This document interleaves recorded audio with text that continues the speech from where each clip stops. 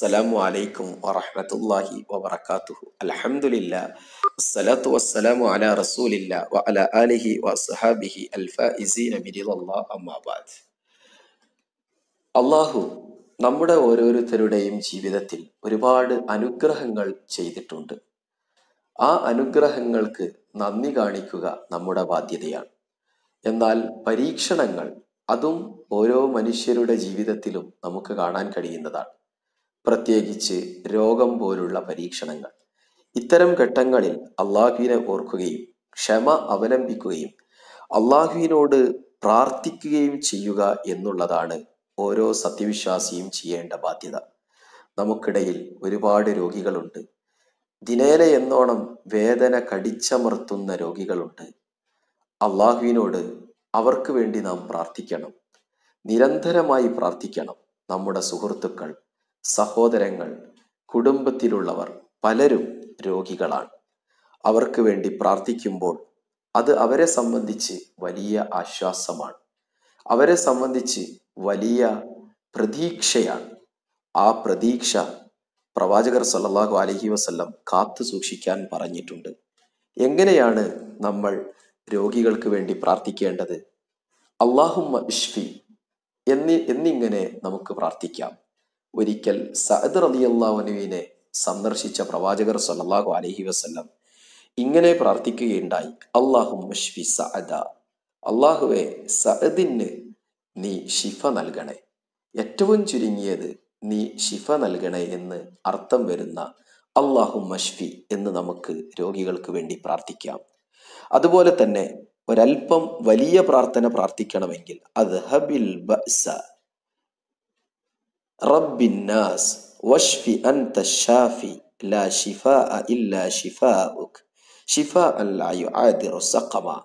അദ്ഹിബിൽ ബഅസ. അല്ലാഹുവേ ബുദ്ധിമുട്ടിനെ നീ ഇല്ലായ്മ ചെയ്യണേ. ജനങ്ങളുടെ രക്ഷിതാവേ നീയാണ് ശിഫ നൽകുന്നവൻ. നീ ശമനം നൽകണമേ. നിന്റെ ശമനം മാത്രമാണ് യഥാർത്ഥത്തിലുള്ള ശമനം. അതിനാൽ ഒരു രോഗവും ബാക്കി വെക്കാത്ത രീതിയിൽ നീ ശമനം നൽകണേ. ഇതാണ് ഈ പ്രാർത്ഥനയുടെ അർത്ഥം. ഇത് ഓരോ രോഗികളായ ആളുകൾക്ക് വേണ്ടിയും നമുക്ക് പ്രാർത്ഥിക്കാവുന്നതാണ്. എന്നാൽ രോഗികൾക്ക് സ്വന്തമായി ഏതെങ്കിലും ശരീരത്തിന്റെ ഏതെങ്കിലും ഭാഗങ്ങളിൽ വേദനയുണ്ടെങ്കിൽ ആ ഭാഗത്ത് കൈവച്ചുകൊണ്ട് പ്രാർത്ഥിക്കാൻ അള്ളാഹുവിന്റെ റസൂൽ ചില കാര്യങ്ങൾ പഠിപ്പിച്ചിട്ടുണ്ട്.